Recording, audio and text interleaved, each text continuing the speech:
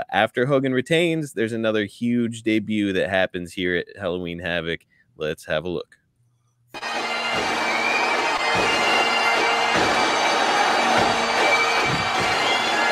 Don't even think about it.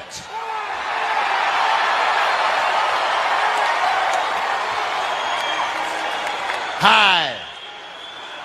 Hi.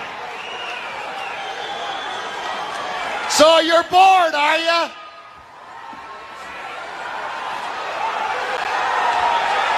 I've come here to break your monotony. Hey, Sprout! Sprout! Why don't you just head back with a Jolly Green Giant and take a break? Whoa, whoa, whoa, whoa, whoa. You know, you know what, uh, Mr. Piper?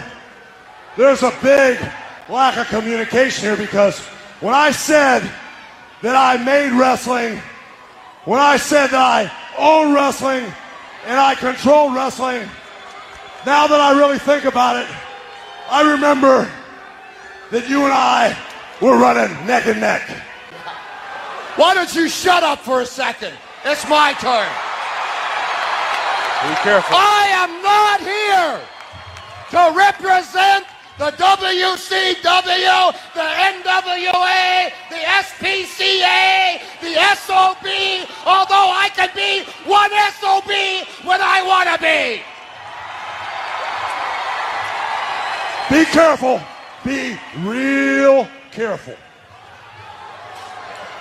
Yeah, I made a lot of money being real careful. I'll tell you something there, Charlie Brown. You've been saying that if it wasn't for you, professional wrestling wouldn't be what it is today. Boy, do I got news for you. I come to you for a reality check there, partner. I come because you see, I'm just as big an icon in this sport as you are.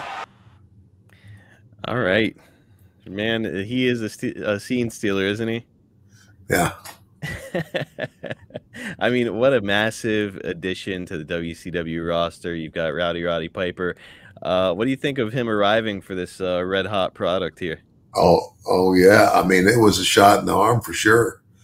I mean, uh, and again, everything Roddy just said is pretty much the truth. uh, uh, and uh, and I personally, I, know, I I love that guy. I had a I had a good time with him, and he was. I mean, you know, here's a guy who who was just. As a matter of fact, he and I were at Madison Square Garden the same time. This is the first time I ever. I, I think it was. The, I, I can't. I think it was the.